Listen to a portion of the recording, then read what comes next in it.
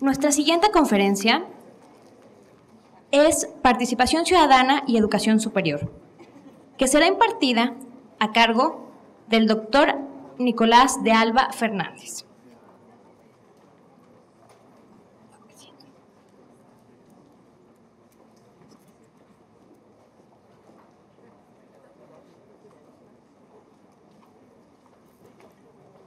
De quien a continuación daré lectura a una breve reseña curricular.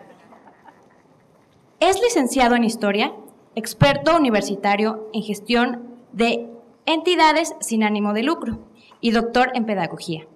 Desde el 2004 desempeña sus tareas profesionales en el Departamento de Didáctica de las Ciencias Experimentales y Sociales de la Universidad de Sevilla.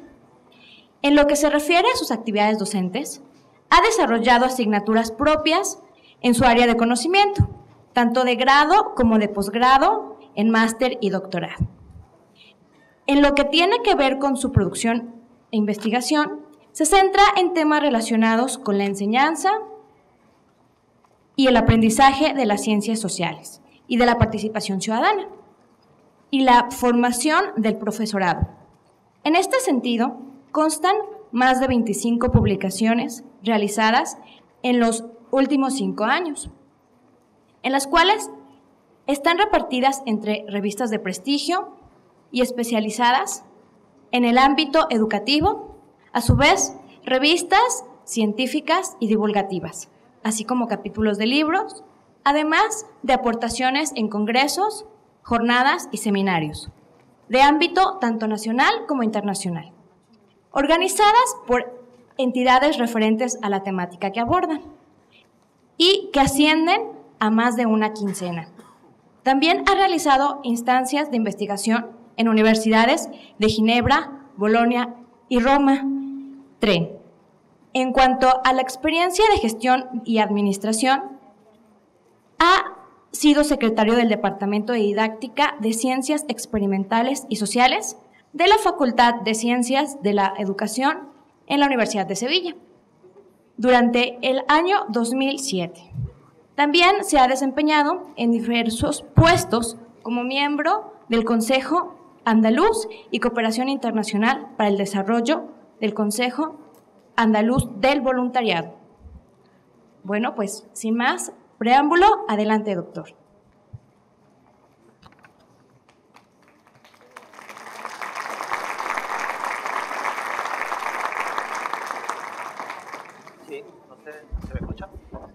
¿Ahora? Más o menos. Ahora. Ahora, bien. Yo me, voy a poner de pie si os parece, porque aquí sentado estoy un poco ahí como muy bajo. No sé si... Bueno, yo me voy a mover, a lo mejor muevo un poco local de la cámara a la persona que está grabando, pero me parece que es más interesante que tengamos una, interacción un poco más, más cercana. Eh, bueno, antes de empezar me gustaría agradecer al equipo de la Universidad de Guadalajara, a Sandra, y a todas las personas que han trabajado en la organización de este evento por la invitación. ¿no? La verdad es que, que es una oportunidad muy interesante estar en México.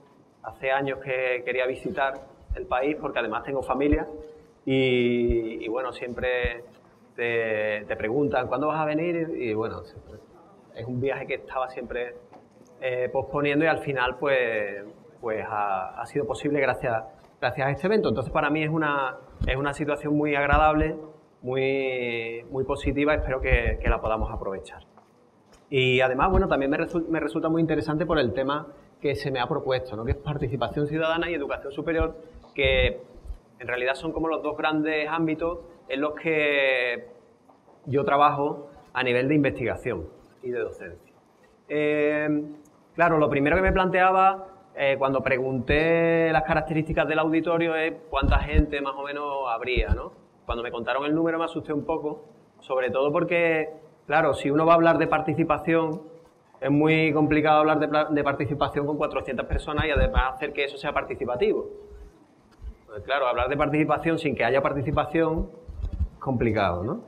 Entonces, eh, vamos a intentar una estrategia que es un poco sencilla, pero yo creo que puede resultar útil. Eh, hay una herramienta online que supongo que conocéis que se llama Slido, ahí lo tenéis abajo la, la referencia, si entráis en vuestro navegador de vuestro teléfono celular, como llamáis aquí, móvil para mí, podéis, podéis teclear eso, slide 2, ¿de acuerdo? Si ponéis eso, va a salir una, una página donde eh, os pide un pin, un número, y el que tenéis que poner es ese, 2180. ¿De acuerdo? 2180 es el número de este evento. Eh, lo interesante es que la aplicación eh, permite que en tiempo real podáis decir las cosas que os parecen sobre lo que yo voy a ir hablando y hacer preguntas.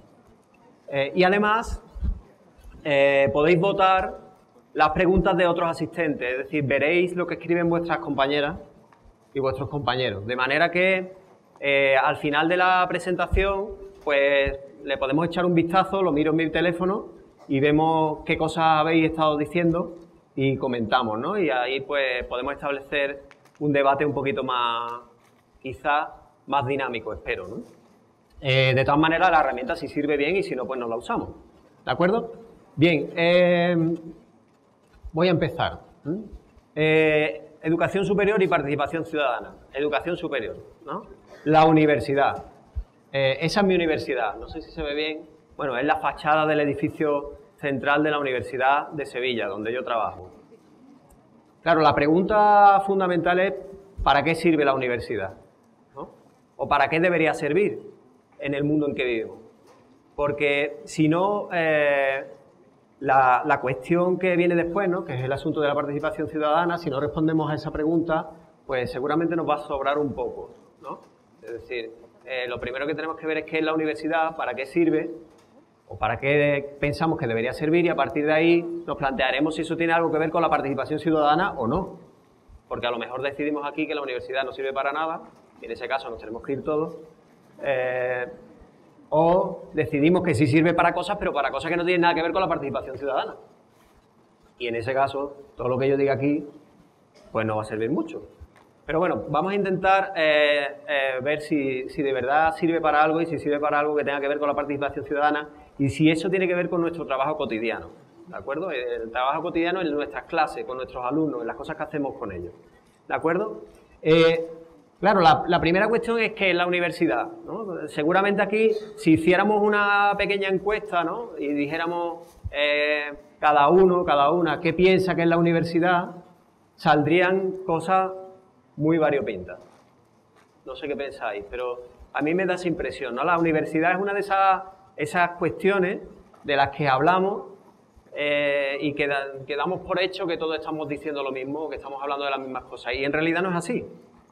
Es decir, que si nos ponemos a discutir sobre qué es la universidad o qué debería ser, eh, seguramente llegaríamos a conclusiones muy distintas, ¿no? Y muy interesantes. Pero no tenemos tiempo de hacer eso. Si esto fuera más participativo, un grupo más pequeño, lo haríamos. Eh, pero hay modelos de universidad, se pueden establecer modelos. La universidad es una institución muy antigua, la Universidad de Sevilla tiene 500 años, ha cumplido hace poco. Y como tal institución, eh, yo creo que ha ido variando en sus roles, en sus funciones a lo largo del tiempo. En origen la función de la universidad es la función clásica de templo del saber. ¿no? En la universidad donde están los sabios. Claro, eso hoy no sé cómo lo veis, ¿no? Cuando os miráis a vosotros mismos, si os consideráis parte de, del colectivo de los sabios de esta ciudad, ¿no? Que son los que trabajan en la universidad, no sé. Eh, esa es la visión, digamos, más original, ¿no? Más original atendiendo al origen, ¿no? La primera visión de la universidad, el sitio donde están los sabios, una especie de torre de marfil desconectada de la realidad, donde hay gente que está investigando, escribiendo cosas muy raras que la gente común no entiende. Eh, esa es la visión que está también en la mayoría de la sociedad o en gran parte de la sociedad. ¿no? Yo cuando llego a un sitio y me dicen, ¿en qué trabajas? Y digo, soy profesor me responden, ¿de gimnasia? ¿No? Digo, no, de universidad. Claro, porque mi, mi, aspecto no se corresponde con el de un profesor de universidad, ¿no? La gente esperaría a un señor mayor, bueno, ya soy mayor, pero más mayor, ¿no? Eh, con cara de sabio, que habla muy lento, ¿no? Y que dice cosas que nadie entiende. Claro, eso no es, no es lo que, al menos no sé la experiencia que tenéis vosotros aquí, después si queréis la comentamos, pero esa no es la realidad que yo vivo todos los días. Es verdad que nosotros manejamos un lenguaje específico, que tenemos un conocimiento muy especializado, pero eh, esa visión del sabio que está al margen del mundo, como una especie de sacerdote ¿no? o chamán de la tribu que sabe cosas muy importantes y que habla lenguajes muy extraños, casi mágicos, eso ya no es la universidad. Eh, entonces, bueno, se han intentado otros modelos de universidad, ¿no? O hay, otros modelos por ahí, ¿no? Está el modelo inglés, ¿no? El modelo que han llamado por ahí de Oxford-Bridge, ¿no? Eh, Oxford-Bridge, ¿no? De Oxford más Cambridge, ¿no? Oxford-Bridge, eh, que es el modelo elitista, ¿no? La universidad británica es en origen una universidad pensada para formar a las élites, a las clases dirigentes, a los lores, ¿no? A los hijos de la nobleza, a esa gente que, dirige el mundo. Y ese es un modelo. ¿no? Después tenemos el modelo francés, que es un modelo de, la República. ¿no? Los franceses, como siempre, tienen esta visión de servicio público. ¿no? La Universidad Francesa es una universidad creada para formar a los servidores de la República, a la gente que trabaja en la República, a los que, bueno, a los que atienden a la sociedad, etc. ¿no? Tenemos el modelo alemán, que es el modelo tecnológico, ¿no? Los alemanes, aquí tenemos un alemán, ¿no? Son gente racional, gente muy... Al menos es el estereotipo, ¿no? Después, después hay alemanes y alemanes, ¿no? Pero el estereotipo es el alemán racional, técnico, ¿no? Que maneja cuadriculado, ¿no? Que, es capaz de, hacer muy bien cuestiones tecnológicas, ¿no? Entonces, la universidad alemana, la universidad, el modelo alemán es del I D, ¿no? Del desarrollo tecnológico, de conseguir el progreso a través de, de la tecnología, ¿no? Después eh, tenemos el modelo norteamericano, ¿no? iba a decir americano, pero América ya muchos pensamos que es bastante más que América del Norte. El modelo norteamericano el modelo, que es un modelo mixto, ¿no? es un modelo que mezcla la cuestión tecnológica con la cuestión, en algún caso, de formación de las élites y con la cuestión de la consecución de los logros personales. ¿no? La universidad norteamericana es el sitio donde tú puedes cumplir el sueño americano. Vas allí y aunque seas una persona que, bueno, que parte sin recursos, etcétera, la universidad te permite conseguir tu sueño. ¿no? Es ese, ese modelo. Claro, no sé si os gusta alguno de esos modelos. A mí me parece que, la universidad necesitaría ser repensada ¿no? y, seguirnos planteando para qué sirve o para qué debería servir. Por una cuestión eh, fundamental. A ver, existen las brujas Sí, por ahí dicen que sí. Se supone que somos científicos, trabajamos en la universidad. Repito la pregunta. ¿Existe la bruja? Sí, existe la bruja. Eh, de acuerdo, estoy un poco sorprendido. No sé si. ¿Existe la bruja? Si yo dijera, anoche me levanté a las 2 de la madrugada, miré por la ventana y vi a una señora volando sobre el palo de una escoba sobre el cielo. ¿Qué pensaríais de mí? No decirlo. no lo digáis, ¿no? Claro, pensaríais cosas variadas, ¿no? Este chico le ha sentado mal el viaje, el jet lag, no sé, cualquier cosa, ¿no? En principio, las brujas existen, pero contravienen todas las leyes de la física, ¿no? Y de, y de, de la ciencia.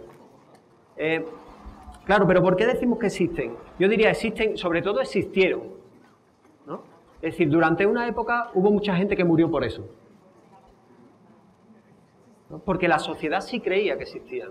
Aunque la ciencia nos dice que es imposible, eh, la gente sí creía que eso existía. Y eso hizo que mucha gente muriera. Al menos en España, de donde yo vengo, los juicios a brujas y las ejecuciones eran una cosa común en la edad moderna. Mm, ¿Qué quiero decir con esto? Eh, lo que quiero decir es, eh, bueno, un ejemplo, ¿no? Ayer mismo, ayer mismo por la tarde estuvimos dando un paseo por la ciudad y fuimos al, hospicio, están los murales de Orozco, ¿no? y ahí está algo que son muy impresionantes, ¿no? y algunos de ellos representan la llegada de, Cortés ¿no? a, México. Y el guía, un tipo muy interesante que hizo una exposición bastante divertida y curiosa, eh, el guía explicaba que en realidad cuando Cortés llega a México prácticamente eran 250 personas. 250 personas contra un imperio, ¿no? contra una sociedad avanzada, etc. ¿no? Y nos planteamos, Víctor y los compañeros que estábamos por allí, nos planteamos cómo es posible que 250 personas desubicadas, fuera de su continente, de su país, de su cultura, en otro sitio de repente conquisten una civilización. ¿Por qué? Bueno, el guía lo explicó bastante bien, ¿no? Porque para las personas que vivían en México en ese momento, Cortés y sus soldados que venían en caballos, un animal que jamás habían visto, eh, de repente eran como personajes de ciencia ficción, ¿no? extraterrestres, dioses. ¿Por qué? Porque no tenían en su cabeza esa idea, ¿no? La idea de una persona que está montando sobre un monstruo de cuatro patas y que además va vestida con ropas brillantes, con armadura y que tiene armas que, que no conocemos, ¿no? Es una especie de dios, ¿no? La cuestión es eh, que al final, eh, casi más importante que lo que ocurre en la realidad es lo que la gente cree que ocurre. ¿De acuerdo? Esa es la cuestión. Y por eso la gente puede morir por ser bruja, aunque en la realidad yo me atrevo a afirmar que, jamás una mujer ha volado sobre el palo de una escoba, ¿no? Pero ha habido mucha gente que ha muerto por eso, porque la gente creía que sí. Entonces, eh, en la diferencia entre lo que ocurre en la realidad y lo que ocurre en la cabeza de la gente, nos estamos jugando mucho. Nos estamos jugando mucho. Eh, último ejemplo, ¿os gusta leer? Eh, lo de la bruja lo habéis respondido más fácil. Y leéis, ya esa pregunta, ¿no? Eh, porque después nos quejamos de que nuestros estudiantes no leen. ¿no? Leen, no leen. Bueno, y nosotros leemos porque esa es la segunda pregunta. os voy a recomendar un libro, ¿no? Ese que está ahí. Se llama Las Benévolas. Jonathan Little. Es una novela. Nada muy sesudo. Pero es una novela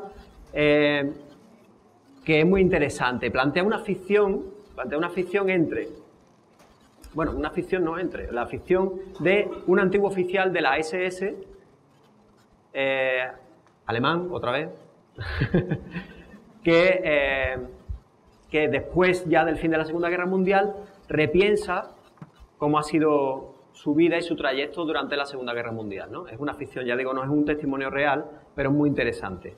Supongo que sabéis que eran las SS, ¿no? Las SS eran un cuerpo paramilitar, no era el ejército, era un cuerpo, el cuerpo paramilitar que el gobierno de Hitler eh, utilizó para lo que llamaron la solución final, es decir, los campos de exterminio de los judíos, ¿no? Claro, lo que llama la atención de las SS es que todos los dirigentes de las SS, todos los altos mandos, etcétera, habían salido de la universidad. ¿De acuerdo? Eran gente muy formada, supuestamente la élite intelectual de la sociedad. Entonces, el autor se pregunta cómo puede ocurrir eso. ¿Cómo puede ocurrir que la gente más formada de un país acabe llegando a esos límites, a esos extremos? ¿no? Y lo que, la respuesta que se da a sí mismo es muy interesante y es muy dura, porque lo que viene a decir es, eh, yo viví esa situación y no me, no me siento orgulloso de haberla vivido, pero tampoco voy a pedir perdón, porque si usted hubiera estado en mi lugar habría hecho lo mismo. Claro, eso dicho así eh, te interpela, ¿no? Porque tú piensas, si yo hubiera estado en Alemania en los años 40, en la SS, ¿qué habría hecho yo? ¿no? Y lo que él dice, seguramente usted habría hecho lo mismo que yo. No se crea usted mejor que yo, porque cualquier persona está muy influenciada por el, la cultura y las ideas de todo lo que tiene alrededor. Vosotros tenéis la suerte de no haber vivido en esa situación y no, habéis, no os habéis visto en la tesitura de haber tenido que hacer las cosas que yo hice. Entonces, claro, ¿todo esto para qué? Para resaltar en la cuestión de la importancia de la universidad. Es decir, es decisivo nuestro trabajo. Lo que estamos haciendo con nuestros estudiantes es la clave de lo que va a pasar en el mundo, de lo que está pasando ya y de lo que va a pasar en el mundo de aquí a nada. Porque estamos formando eso que ocurre dentro de la cabeza de la gente. Y además en una época muy complicada. ¿no? Decía un amigo mío, yo no sé si estamos, yo estudié historia ¿no? en origen, mi titulación original es licenciatura en historia. Eh, claro, los historiadores están obsesionados por definir épocas, etapas en la historia, ¿no? La historia medieval, la historia moderna, la edad contemporánea, etcétera. Y claro, ahora están de discusiones desde hace un tiempo, ¿no? De cómo definimos la época actual. Es muy complicado porque no tenemos perspectiva, ¿no? Y de hecho no podemos saber si estamos ya en otra etapa histórica, todavía no hay consenso sobre eso, parece que sí, ¿no? Pero lo que decía un amigo mío no hace mucho era eso que dice ahí, ¿no? No estoy seguro si estamos en otra época, si hemos cambiado de época, pero lo que sí estoy seguro es que estamos en una época de cambio. ¿De acuerdo? No sé si ya hemos cambiado de época, pero que nuestra época es una época de cambio, seguro que sí. Estamos cambiando. Y eso se nota mucho en la universidad, ¿no? La imagen yo creo que es muy ilustrativa. Ahí se ve, supongo que esa experiencia resulta familiar en algún caso, ¿no? Tú estás trabajando, enseñando, y tus estudiantes están en otra cosa en otra parte del mundo, porque están con su celular, con su teléfono, hablando de otras cosas, pensando en otras cosas, trabajando en otras cosas. Y ahí tenemos un problema, porque hay un salto de cultura, ¿no? Es decir, nuestra cultura académica, rigurosa, etcétera, choca con la cultura de los jóvenes con los que trabajamos, que están pensando de otra manera y utilizando otras tecnologías y otros recursos, como, como podemos experimentar cada día, ¿no? Yo al principio de mis clases me sentaba muy mal que los estudiantes utilizaran el teléfono móvil, el celular, en clase porque, claro, se distraían, etc. al final me di cuenta que la solución era eh, no luchar contra los elementos, es decir, eh, no podemos ir contra la historia. Ya nuestros estudiantes manejan otra manera de acercarse al conocimiento. Y eso tiene mucho que ver con la tecnología. Por suerte tenemos aquí personas que nos van a, nos van a hablar en estos días y nos van a dar claves muy interesantes sobre este asunto, ¿no? Eh, entonces, bueno, la cuestión es, ¿qué hacemos con una universidad que está en ese cambio de época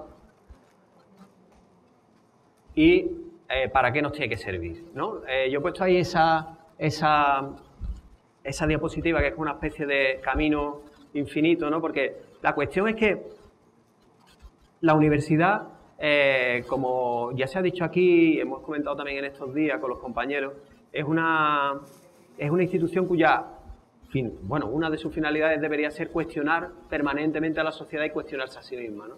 Y ese camino no se acaba nunca. Es un camino que tiene que estar siempre abierto a la discusión. ¿no? Entonces, claro, si estamos en una época distinta, o en un cambio de época, o en una época de cambio, como lo queramos llamar, deberíamos tener una universidad que fuera capaz de responder a los retos que está planteando esa época. Eh, claro, la segunda, ahí viene la segunda parte, ¿no? que es el asunto de la ciudadanía y de la participación ciudadana. Eh, he puesto ahí unos pasaportes eh, que quieren representar la idea de ciudadanía. ¿no? el asunto de la ciudadanía es otro asunto problemático. ¿Por qué? Porque igual que cuando hablamos de universidad no estamos hablando todos de lo mismo, seguro que cuando hablamos de ciudadanía tampoco. Si nos pusiéramos aquí ahora a debatir sobre qué es la ciudadanía y qué es ser ciudadano, saltarían chispas. ¿no? Porque claro, eso es una idea que igual que la de la universidad es muy compleja y que está en permanente debate. Lo que está claro es que la, ciudadanía, en origen al menos, es algo vinculado al territorio, por eso he puesto lo de los pasaportes, ¿no? Es decir, haber nacido en un sitio te da una serie de derechos y te compromete a una serie de obligaciones. En principio esa es la ciudadanía. ¿no? Claro, derechos que tienen que ver con muchas cosas, con participar, con, derecho a la sanidad, a la educación, ¿no? con muchas cosas. Claro, el asunto es em, si esos derechos son suficientes. ¿no? Hay autores que ya han trabajado mucho sobre esto. ¿no?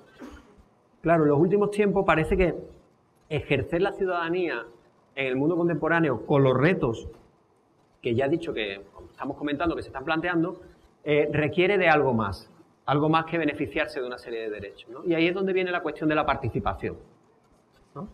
Parece que participación ciudadana es como una reiteración. Supuestamente un ciudadano debería ser participativo, debería tener la oportunidad de participar. Sin embargo, cuando decimos participación ciudadana, lo que estamos queriendo decir es que no participamos bastante. Y habría que plantearse también qué entendemos por participación y si eso se puede enseñar en educación superior y si eso tiene que ver con nuestras asignaturas y con las cosas que estamos trabajando. Eh, claro, eh, este es un tema muy complicado porque, claro, cuando hablamos de participación, al final lo que queremos decir es decisión. Es decir, la gente participa si puede decidir cosas. Si no, deja de participar. Si tú le dices en tu aula a tus estudiantes, quiero que participéis y que hagáis cosas, lo hacen la primera vez para ver qué pasa. Si ven que eso no sirve para nada y que no tiene ningún tipo de influencia y sobre todo que no sirve para decidir nada, dejarán de participar. ¿Por qué la gente deja de votar? ¿No? Estábamos hablando ayer, ¿no? En las democracias actuales cada vez vota menos gente. ¿Por qué? Porque la gente es muy vaga, porque no tiene ganas de ir a votar, porque es muy difícil. No, porque tiene la sensación de que no, participar no sirve para nada. Y entonces no participa. La participación tiene que ver con la toma de decisiones. Si yo puedo decidir, entonces participo. Si no, si nadie me va a escuchar, si lo que yo diga no importa, entonces, ¿para qué lo voy a hacer? ¿Para qué voy a perder mi tiempo? Claro, el asunto es si eso se puede eh, hacer en la, universidad, ¿no? Y aquí es donde viene la segunda parte, que yo creo que es la, la más interesante, ¿no? Que es cómo hacemos eso. ¿Podemos hacer eso en nuestras clases? En nuestras clases de cualquier cosa, en nuestras clases de tecnología, en nuestras clases de ciencia, de medicina, en nuestras clases de humanidades, de arte. ¿Podemos trabajar cuestiones que tengan que ver con la participación ciudadana? Eh, es más, diría yo, ¿debemos trabajar cuestiones que tengan que ver con esto? ¿O de hecho lo hacemos sin darnos cuenta? Porque yo creo que tiene más que ver con esto último, ¿no? De hecho estamos trabajando esto sin saberlo. Claro, lo interesante sería que fuéramos conscientes de qué estamos haciendo, por qué lo estamos haciendo y si lo podemos hacer mejor. ¿De acuerdo? Eh, porque, bueno, hay un pedagogo, supongo que lo conocéis, John Dewey, ¿no? escrito Dewey, eh, que, dice algo así como que la educación siempre es un acto político. Es decir, hagan lo que hagan en educación siempre eh, tiene una carga ideológica y política de fondo. No podemos... Eh, esto es un debate que si queréis lo comentamos después. Yo todos los años me peleo con mis estudiantes por este asunto. ¿no? Porque, claro, en origen supuestamente deberíamos ser objetivos y neutrales. Sin embargo, la cuestión es, ¿es posible eso? Eh, yo siempre digo que en, en, este planeta todo el mundo ocupa un sitio, incluso el sitio de los que dicen que no están en ningún sitio. Eso es un sitio. ¿no? El que dice, no, yo no, eso es un sitio. Es decir, hagas lo que hagas, siempre te estás definiendo y te estás posicionando. ¿De acuerdo? Entonces, claro, y es más, diría yo, no solo no podemos evitar hacerlo, sino que además debemos hacerlo, teniendo en cuenta todo esto que estamos planteando de los retos a los que debe responder la sociedad en el mundo eh, actual. Eh, en realidad, para hacer esto en clase con nuestros estudiantes no tenemos recetas mágicas. Ojalá las tuviéramos, si las tuviera, si yo la tuviera no estaría aquí, estaría como Bill Gates o algo así, rico perdido, pero claro, no tenemos recetas, pero sí tenemos algunas, algunas intuiciones, tenemos algunas pistas, ¿no? algunas estrategias que sí nos están funcionando, ¿de acuerdo? Yo ahora voy a intentar contaros algunas pistas de las que, de las que yo conozco por el trabajo que estamos haciendo en la Universidad de Sevilla y eh, ahora las contaré de manera así más teórica y pasado mañana, el viernes en el taller, pues las personas que estéis ahí podremos hacerlo, de hecho, ¿de acuerdo? Hacerlo en un, en pequeñísimo formato porque esto que voy a contar ahora lo desarrollamos en un curso que, dura prácticamente un semestre completo, ¿de acuerdo? Eh, yo participo en un programa de formación docente del profesorado de mi universidad, es decir, igual que aquí en la Universidad de Guadalajara tenía un servicio de innovación curricular, en la Universidad de Sevilla también tenemos un servicio de formación del profesorado de la universidad, porque claro, alguien en algún momento se ha dado cuenta de que los profesores de universidad no tenemos ninguna formación como profesores.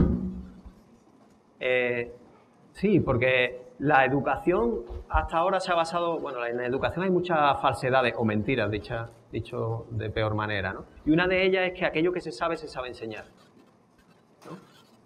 Eh, y claro, eso no es tan así, no sé cuál es vuestra perspectiva, si queréis también podemos debatir sobre eso, pero esa, esa perspectiva, esa base inicial de pensar que solo por saber algo lo vamos a saber enseñar, en la práctica todo el que tiene una experiencia docente, un poco ya dilatada, sabe que no es tan así. Y que la profesión docente requiere de una serie de habilidades, de capacidades, de estrategias que, que son complejas. Es decir, que nuestra profesión es muy compleja. Es muy compleja. Bien, entonces, ahora las universidades se están dando cuenta de eso y están empezando a desarrollar programas para formar a sus docentes. ¿De acuerdo? En la Universidad de Sevilla hay un programa en el que yo participo, eh, que se llama Programa de Formación, docente, de Formación e Innovación Docente del Profesorado. ¿De acuerdo? Eh, es un programa, ya digo que no, desarrollo yo solo, ¿no? Con, colaboro con un equipo más extenso de compañeras y de compañeros de mi departamento, eh, de los cuales he aprendido mucho y sigo aprendiendo. Y, bueno, ahí eh, llevamos desarrollando este programa cuatro años. la cuestión es que nosotros teníamos la, la, intuición, por las cosas que nos decían los participantes, que son compañeros de la universidad, teníamos la intuición de que el programa estaba funcionando bien. Porque eh, la gente salía contenta de allí. Nos decían, oye, pues las cosas que estamos haciendo nos sirven. Pero claro, eh, en la universidad se supone que no nos debe bastar con eso. Entonces, desde este año, desde enero, estamos desarrollando un proyecto de investigación sobre el propio programa de formación. Es decir, estamos intentando investigar qué procesos son los que se están dando en nuestros compañeros que están en el programa con nosotros para ver qué cosas les sirven más para desarrollar este tipo de contenidos en clase con sus estudiantes y qué cosas les sirven menos, dónde están los problemas, dónde están las dificultades, etc. ¿De acuerdo? Entonces, si queréis, os cuento un poco dos de los grandes asuntos que más planteamos en el programa. ¿no?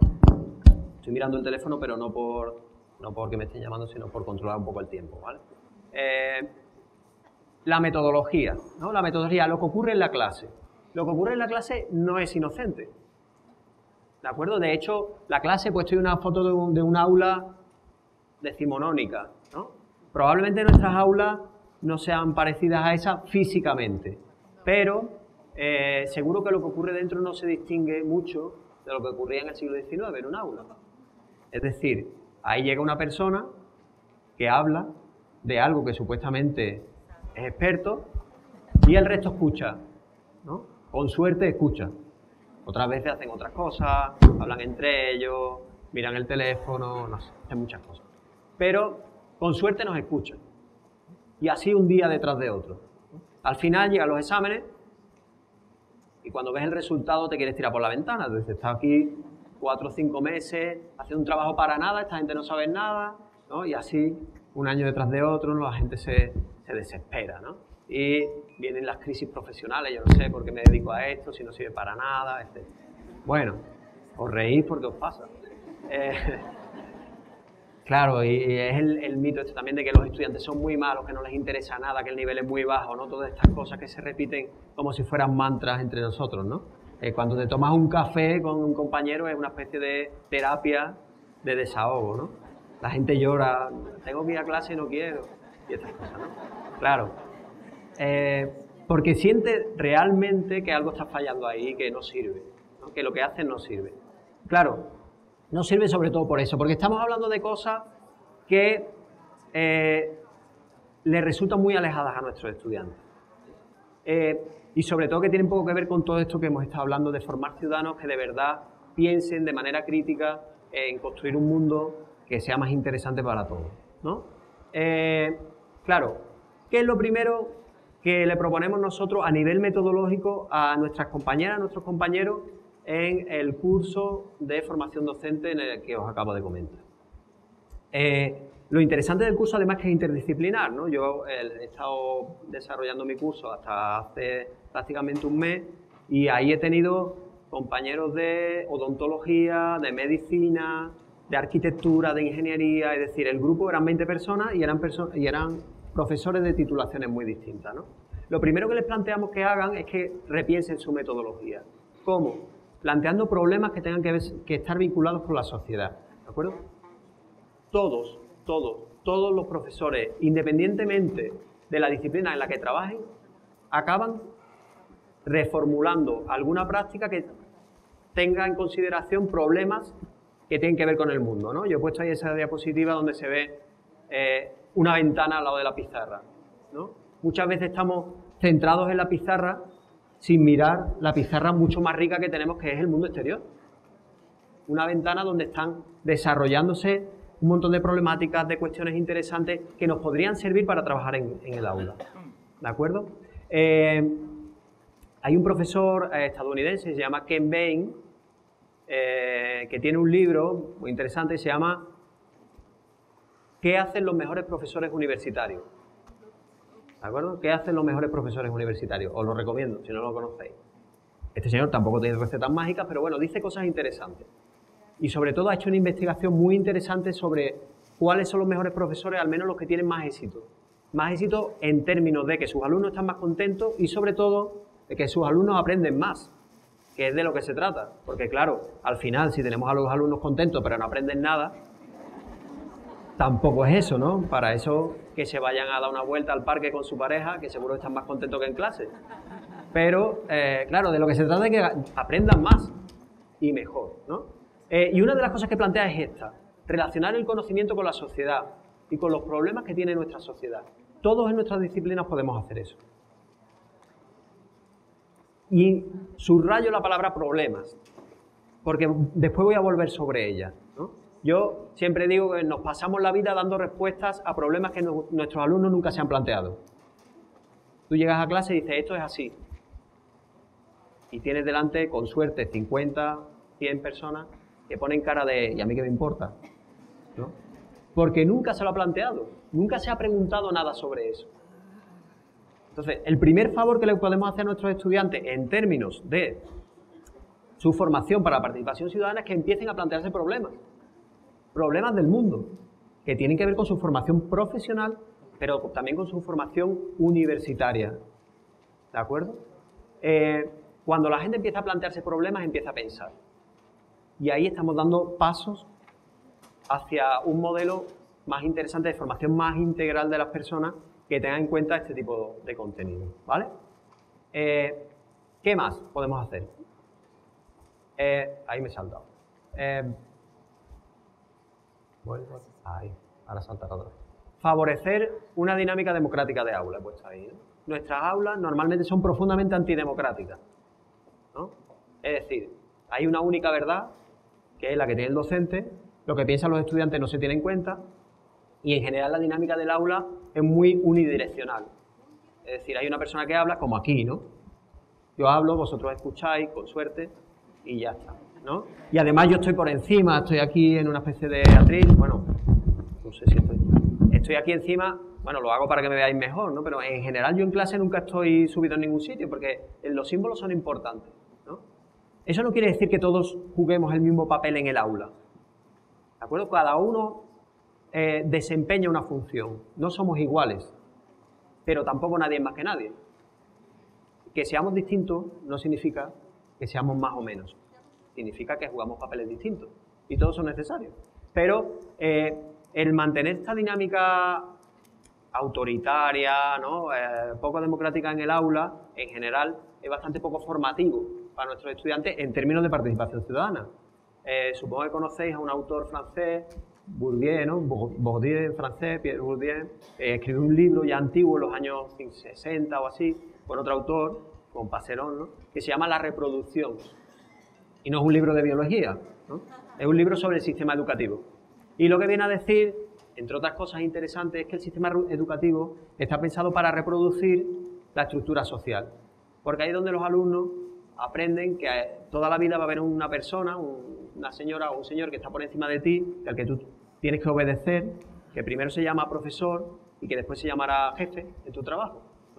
Pero es donde se genera esa dinámica de obediencia. ¿no?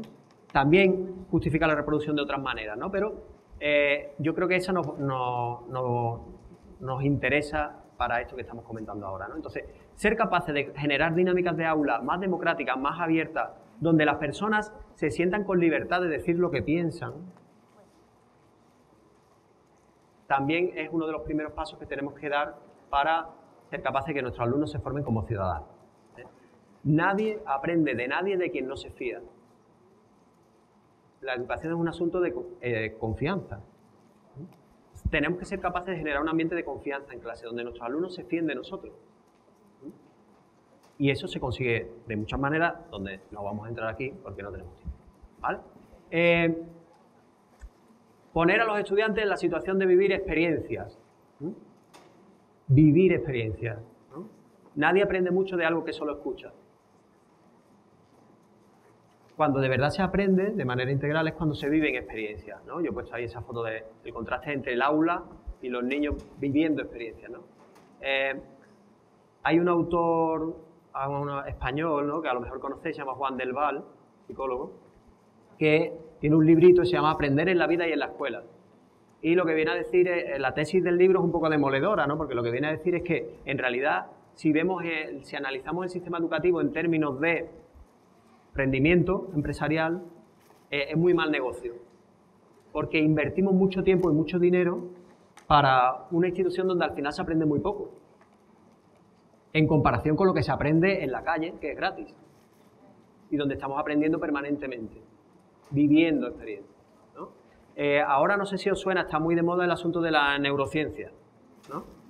Eh, a lo mejor hay aquí gente que conoce de eso, ¿no?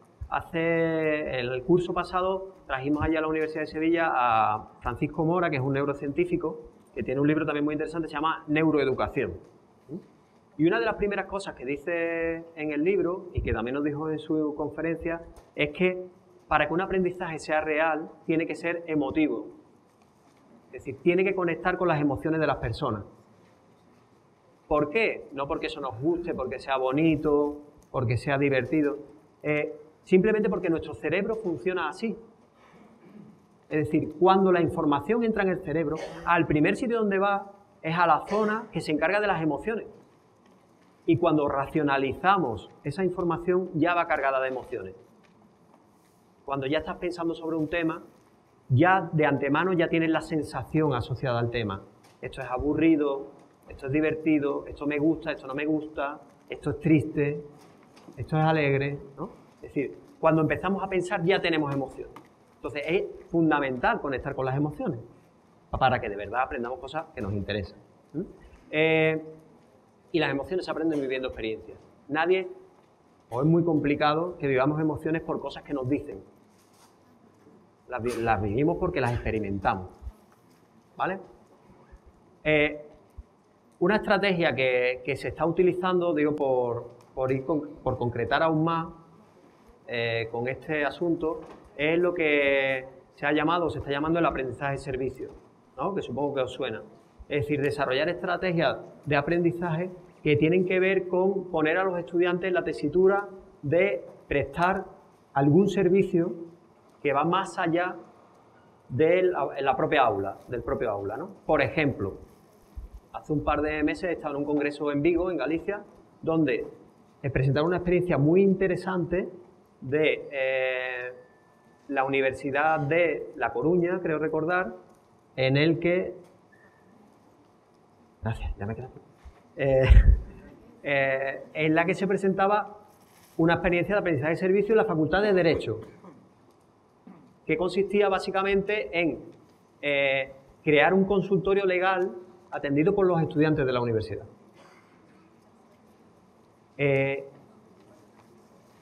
No sé qué os parece, pero la experiencia que presentaron era interesantísima. ¿Por qué? Porque la Facultad de Derecho de la Universidad de Sevilla es la más grande de la universidad. Allí hay cientos de estudiantes. Es una universidad más pequeña que esta, pero hay muchos estudiantes. Y son estudiantes que van a clases teóricas que se repiten día tras día, tomando apuntes y estudiando leyes.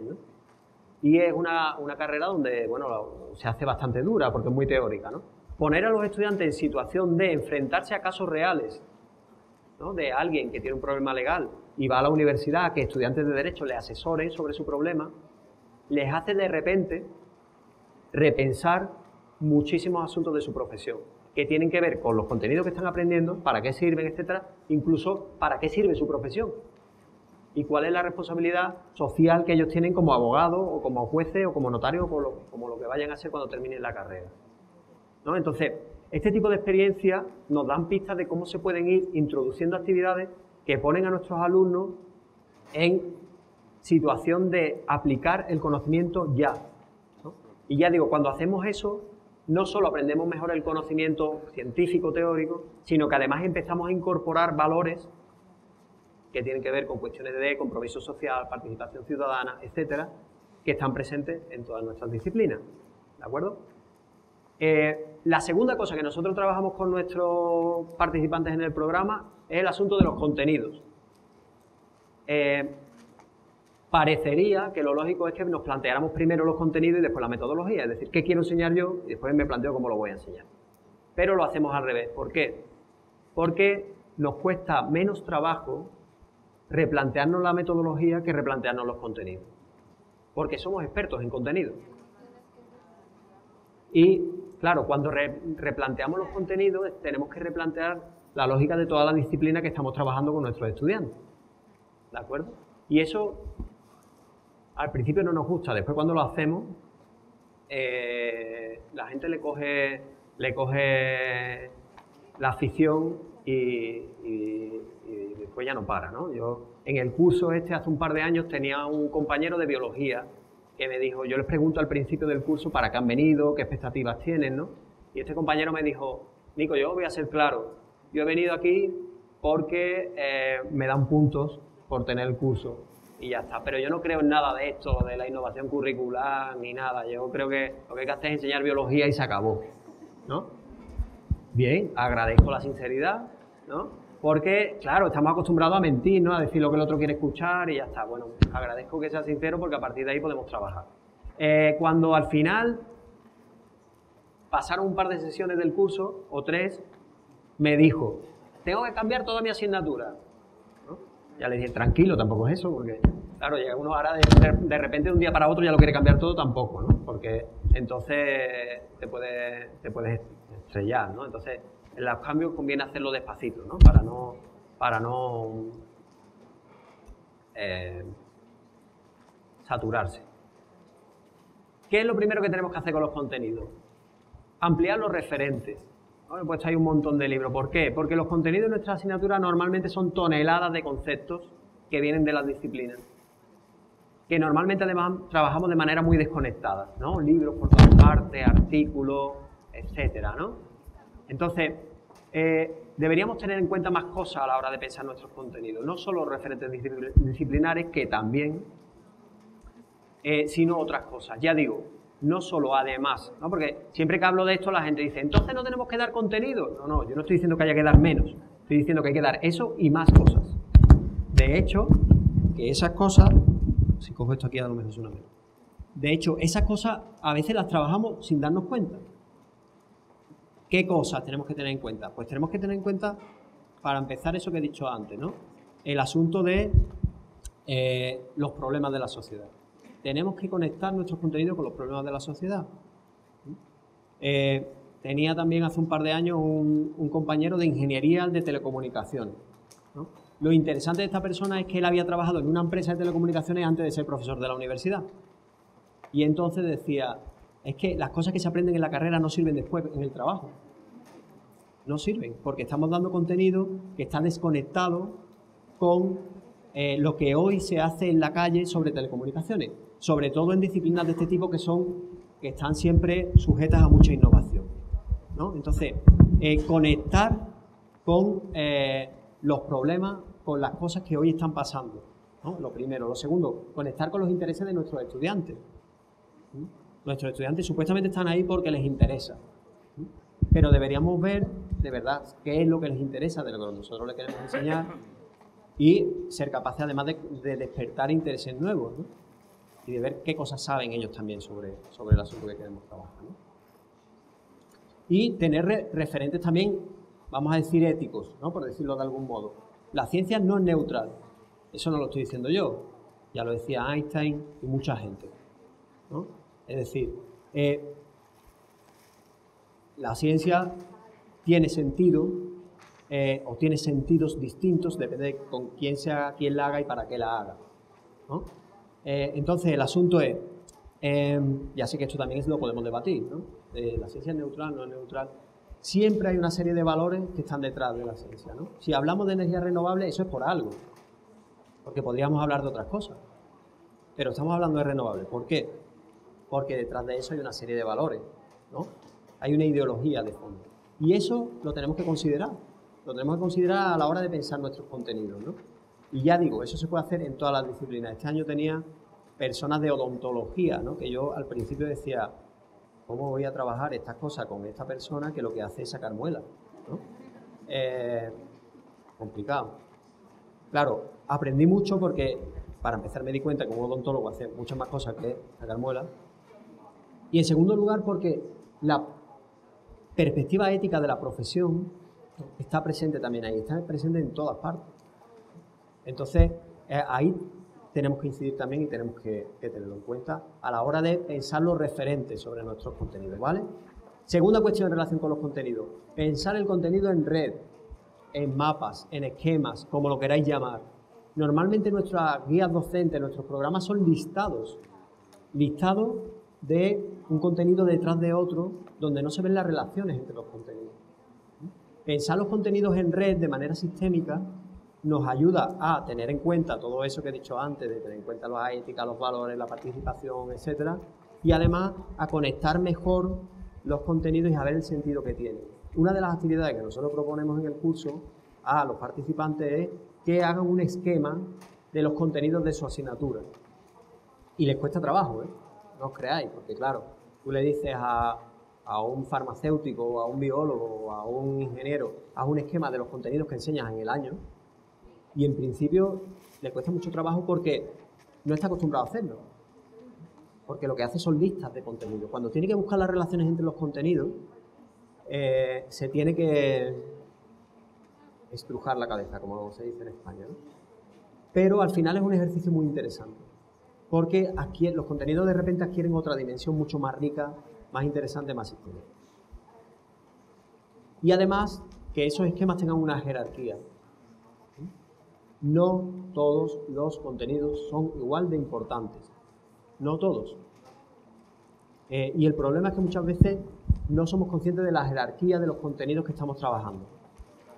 ¿Vale? Por ejemplo, un ejemplo muy simple de historia. Y os digo, la toma de la Bastilla de la Revolución Francesa fue en 1789. Hay mucho que entender ahí. Es un contenido muy complejo. Hay que pensar algo. Es una información, un dato muy simple.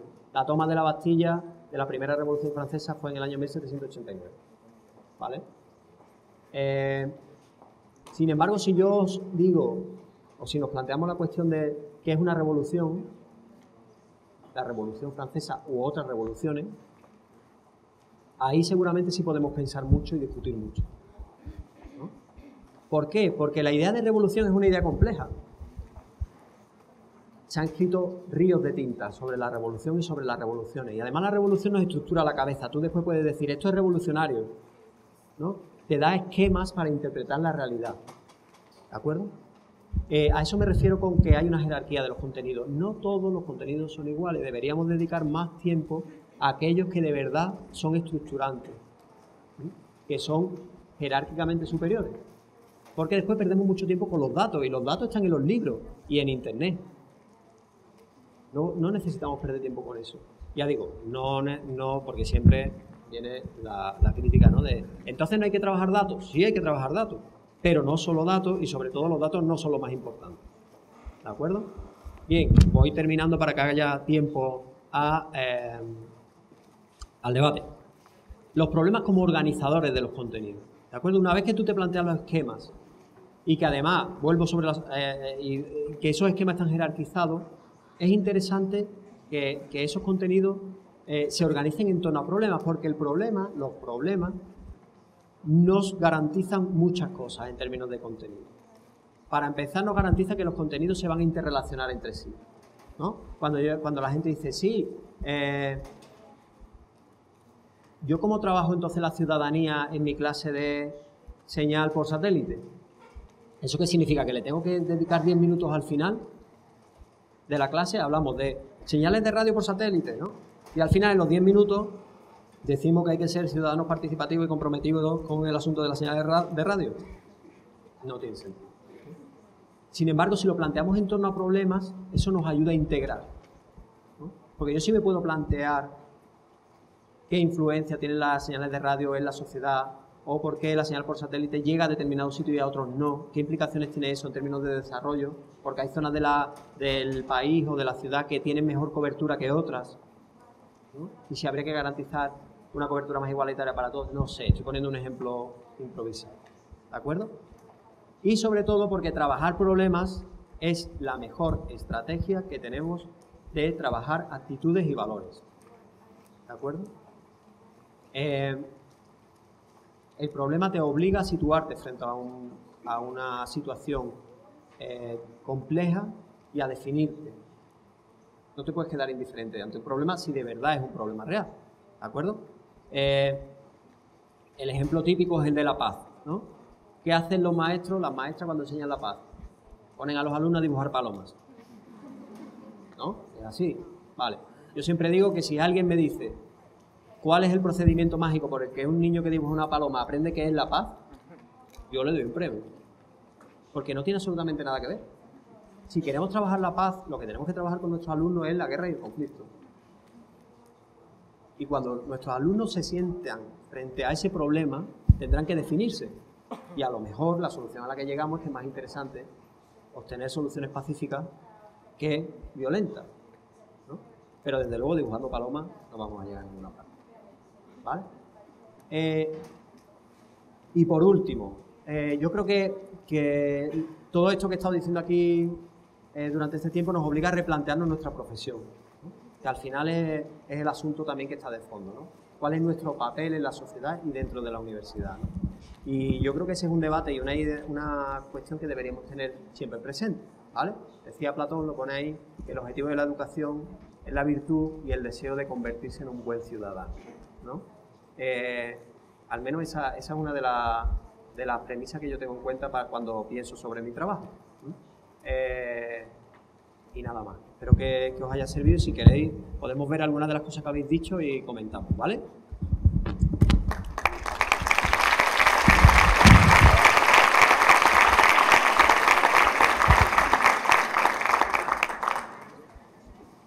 Eh, ¿Tenemos cinco minutos para el debate? Perfecto. Pues os digo las cosas que han ido saliendo y vamos comentando. Eh, Efren Lozano Hernández, ¿está por aquí? Efren. decía, defina en una frase corta los retos de la educación superior. Y eso ha tenido 13 votos. ¿Quiere explicar eso mejor, Efren? O... ¿No? Defina en una frase corta los retos de la educación superior. Sí. Sí, la frase es corta, pero clarita. Mm, según su perspectiva, define los retos de la universidad en, el mediano plazo, por favor. A ver, me estás poniendo en un compromiso. Eh, ¿Cuáles son los retos de la educación superior? Eh, yo diría que, la universidad, los retos de la educación superior, ¿no? Eh, hoy por hoy, el gran reto, los grandes retos de nuestro trabajo son dos, ¿no? que tienen que ver como por las dos grandes patas también de nuestra profesión, ¿no? que es la investigación y la, y la docencia. ¿no?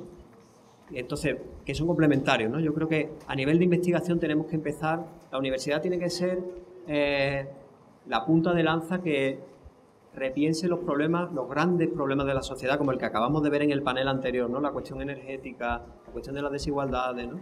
Es decir, la universidad eh, no puede permitirse el lujo de estar al margen de las grandes cuestiones problemáticas de la sociedad y como científicos tenemos que, dar respuesta a esas, grandes, a esas grandes interrogantes, si es que se puede dar respuesta o al menos ir buscando soluciones. ¿no? Yo creo que, ya digo, el panel anterior que han hecho los compañeros y las compañeras ha sido eh, muy interesante en ese sentido. ¿no? Y a nivel docente, yo diría que, que, el papel fundamental o el gran reto de la, de la educación superior es conectar con los jóvenes actuales y ser, hacer eh, ser capaces de hacerles eh, buenos, buenos ciudadanos y buenos profesionales, ¿no? que no es poco. Entonces, que sean capaces de enfrentar los problemas del presente y del futuro, ¿no? porque hoy por hoy yo no sé cuál es la perspectiva que tenéis o la, idea, la, la, sensación, ¿no? pero mi sensación de hace unos años para acá es que casi cada día hay problemas nuevos y distintos que antes no nos habíamos planteado.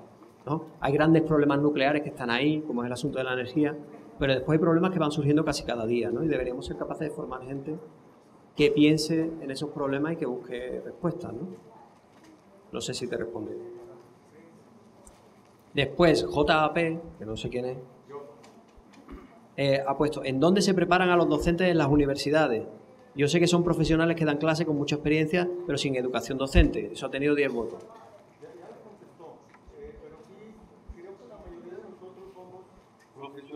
en las carreras que impartimos, pero la realidad la universidad pide ahora que tengamos alguna maestría. Entonces, ya la contestaste porque tienes de alguna manera en tu universidad das cursos. Acá en las universidades en Guadalajara y en México es raro el profesionista que tenga una preparación docente. Entonces sí, sí, creo que las universidades deben de, como estos cursos se me hacen padrísimos, y no me acá, son parte de una preparación como profesionista que me interesa oír a otros profesionistas. Ahí en académica, en Telmex, Slim, tiene una que dice, mencionaste, de qué hacen los mejores profesores. Y está interesantísimo, porque en México no existe eso. Es rarísimo este tipo de, conectar. Muchas gracias. Sí. no, sí, estoy de acuerdo contigo. Yo creo que, que este tipo de iniciativas cada vez son más, por suerte, cada vez más comunes y cada vez más interesantes. ¿no? Y, es muy interesante. O sea, lo, bueno es que está lleno. Quiero decir que, que eso eh, representa, o sea, da, da que pensar. Es este tipo de actividades están dando respuesta a una necesidad real que existe. ¿no? Es que necesitamos tener eh, formación para, para, estos asuntos. ¿no? Eh, dice Anonymous, ¿no? una persona anónima. ¿Qué podemos hacer cuando pareciera que el gobierno no le interesa la educación? Tiene 10 votos esa, esa pregunta. No sé quién la ha hecho, pero claro, ese es uno de los grandes dilemas que a todos nos casi nos ofende, ¿no? Porque yo creo que lo que podemos hacer al final es eh, tomarnos en serio nuestro trabajo, que ya lo hacemos. Eh, por suerte, por suerte en la universidad, en la universidad trabajamos gente que estamos enamorados de nuestro trabajo. Si no fuera así, habríamos ido al desastre, yo estoy convencido. ¿no? Porque si fuera por los gobiernos, la universidad ya sería otra cosa. Lo que ocurre es que de verdad en la universidad hay gente que hace muy bien su trabajo y que tiene un compromiso ciudadano con su trabajo. Eh, entonces yo creo que lo que podemos hacer es eso, tomarnos nuestro trabajo, además de como un medio de vida, como una forma de participación ciudadana. También estamos participando desde una perspectiva ciudadana cuando estamos haciendo bien nuestro trabajo. ¿De acuerdo? Sí, lo dejamos. ¿Cómo vamos de hora? ¿Tú quieres hacer una pregunta, Víctor? Me arriesgo, si queréis le dejamos al profesor Víctor, me arriesgo, eh, aquí no sé si puedo responder. Porque... Hola, sí, no, me quedan algunas dudas, pero como me parece muy interesante la, tu presentación, pero mi pregunta respecto a la participación es que la ciencia no es un sistema democrático, es, meritocrático. Entonces, eh, como en un sistema meritocrático, digamos, la participación implica una búsqueda de democracia, digamos, eh, podemos, eh, digamos, estructurar una, los contenidos en base a eso. Porque eh, no me quiero poner elitista, vos hablabas del sabio, y Kant, que trabajó sobre la problemática universitaria, eh, él por un lado distinguía, que es algo que está presente acá en algunas de las preguntas, distinguía entre capacitación y conocimiento, ¿no? Y el concepto de Bildung, ¿no? Es decir, formativo, es decir, era un concepto es decir, que estaba, fundamentaba el saber universitario y eh, una de las cosas que decía Kant de manera muy elitista es solo los sabios juzgan a los sabios. Claro, ¿ves? Como esta pregunta me iba a dar dolor de cabeza. no, claro, lo que, lo que plantea el profesor Víctor Borstein eh, es una, uno de los grandes dilemas, porque claro, por supuesto, yo he hecho una presentación que ha aprendido a ser coherente, pero detrás de todo esto hay muchos problemas, ¿no? Porque la universidad, como cualquier estructura humana, tiene miles de contradicciones, ¿no? Y una de ellas es esa, el asunto de el valor del conocimiento, de la sabiduría frente a la democracia, ¿no? Y tal, ¿no?